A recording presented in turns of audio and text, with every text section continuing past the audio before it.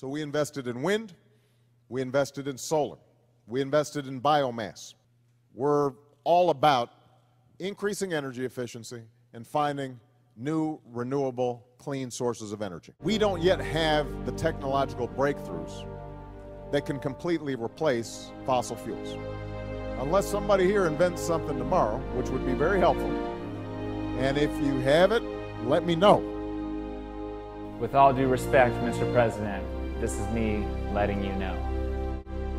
I'm here representing the Vortex-based mathematics project, which was founded by my teacher, Marko Rodin. Nearly 40 years ago, Marco discovered an unknown mathematical language inherent to nature. Now I found the key of how to model it in three-dimensional space. The importance of this discovery cannot be underestimated. With it, I believe we can create inexhaustible clean energy, produce unlimited food, end all diseases, travel anywhere in the universe, build the ultimate supercomputer, and obsolete all existing technology. How is it possible that we make such outrageous claims? It's because we have the secret that connects all the world's technologies into one numbers. A living language, a jigsaw puzzle that, when pieced together, no longer forms an approximation or a rendition of reality. Numbers are reality, neither imaginary, nor irrational, nor arbitrary, Numbers are actually a waveform that folds out into a 3D shape, defining space and time literally. The shape of a torus, nature's original donut, many believe may hold the key to creating a clean and sustainable environment for future generations. We can tap what has been referred to as the zero point energy, sometimes referred to as free energy, and already the evidence and traces of that exist in very simple home-built technology. This technology has been around for centuries. In this demonstration, we're using a 12 volt battery which feeds into a simple circuit that creates a sound frequency. That sound frequency is then fed into the coil and then it comes out in the form of usable light.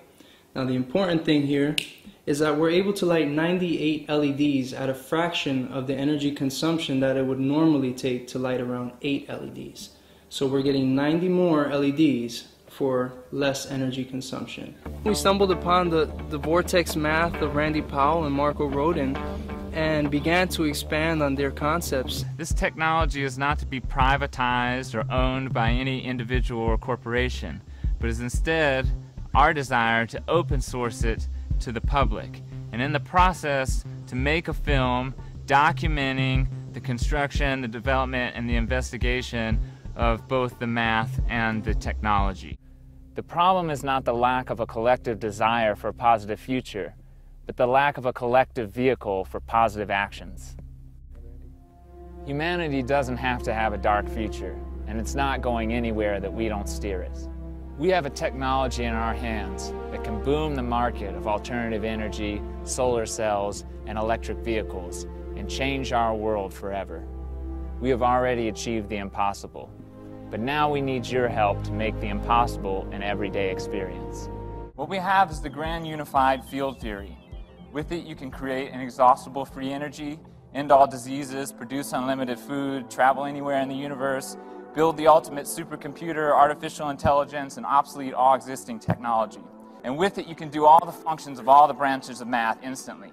It displays a perfect spin symmetry of numbers forming mirror images just like our two hands a feat that's baffled countless scientists and mathematicians. When you look at this symbol, you immediately see it's composed of two aspects. One is this lazy eight, or the infinity symbol, and the other is the red pyramid at the top. The infinity symbol is the equation for the physical world we live in. It's a circuit or a pathway of motion. Six numbers that form a hexagon.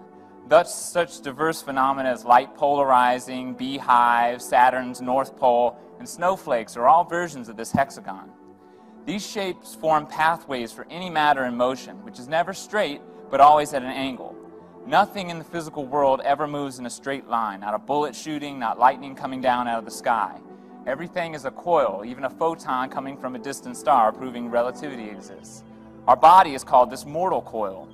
Our DNA is a coil, and it's no coincidence that it matches our equation perfectly. It makes us into a vortex machine that sucks things in at the top and shoots them out at the bottom. Our bodies are toroidal systems, our planet is a toroidal system, and all vortex energy works in the same fashion. The center of electricity is magnetism. At the center of magnetism is a flux. It's a higher dimensional energy known by many names such as dark energy, tachyons, monopoles, gravitons. We call it etheron energy.